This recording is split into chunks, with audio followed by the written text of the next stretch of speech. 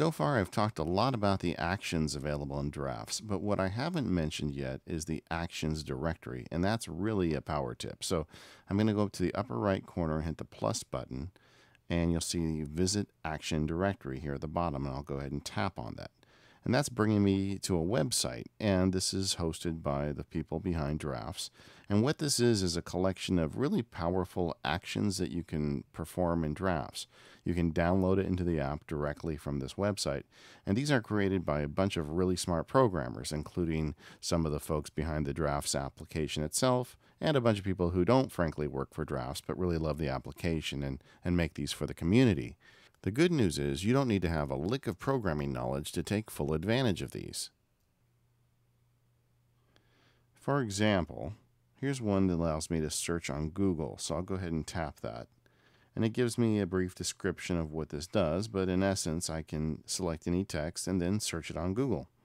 So I'm going to go ahead and install that. So I'll tap the install button, and it'll open it in Drafts.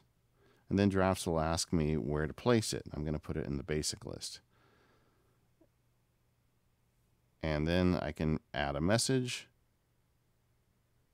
and I can select one of the words in there and I'm going to hit the drafts action and say search on Google and you can see it'll search MacSparky.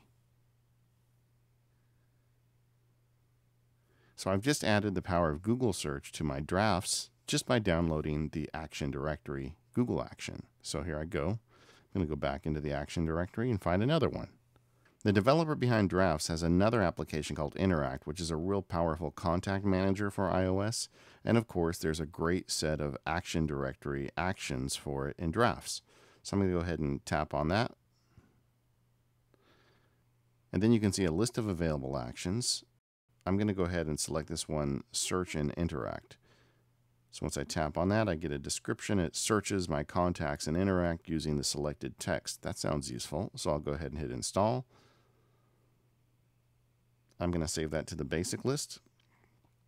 And now I've got that added to my directory. There it is at the bottom. So if I were typing a new message,